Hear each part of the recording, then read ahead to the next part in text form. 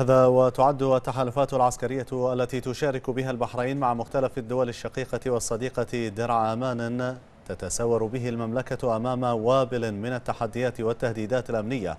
ولم تتوانى البحرين بقيادتها وقواتها العسكرية من المشاركة في أي اتفاقية أو حلف يحفظ مكتسبات الشعوب ويصون مقدراته. محققا الأمن والاستقرار الإقليمي والدولي.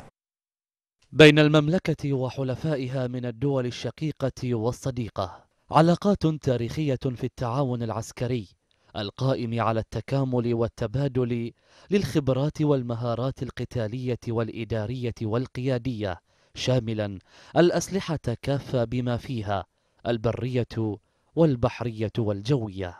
وإيمانا منها بأهمية المحافظة على أمن واستقرار المنطقة ارتبطت المملكة وتفاعلت قواتها مع نظيراتها في كل حدث وعمل مشترك ملتزمة بواجباتها مقدرة كل العهود والمواثيق.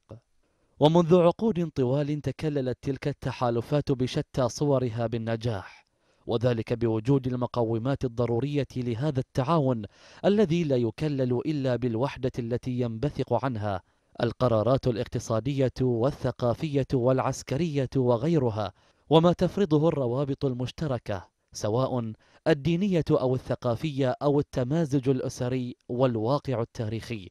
وخير مثال لذلك التحالفان اللذان تشارك فيهما مملكة البحرين حاليا وهما تحالف دعم الشرعية في الجمهورية اليمنية والتحالف الإسلامي لمكافحة الإرهاب التي تقودهما المملكة العربية السعودية.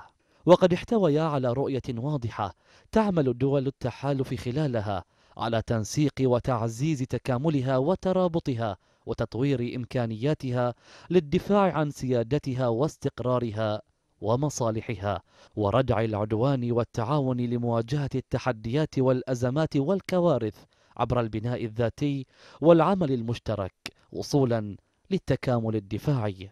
التحالفات العسكرية والتعاون مع الدول الشقيقة والصديقة. اليوم قد قطعت أشواطا كبيرة من تعزيز التعاون العسكري على تقوية الاتفاقات الدفاعية كإنشاء قوات درع الجزيرة المشتركة قبل أكثر من ثلاثين عاما.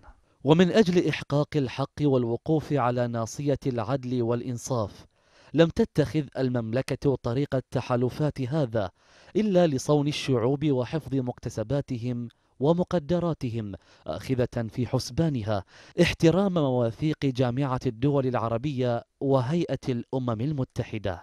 حزمة من الرؤى وإضاءات عدة. سطعت على ذلك التعاون الذي ربط المملكة بشقيقاتها ولم تكن البحرين بمنأ أبدا عن دعم مبادئ تحالفاتها فقد كانت لحضرة صاحب الجلالة نظرة ثاقبة ومساهمات فعالة في كل تلك الاتفاقيات والأعمال المشتركة.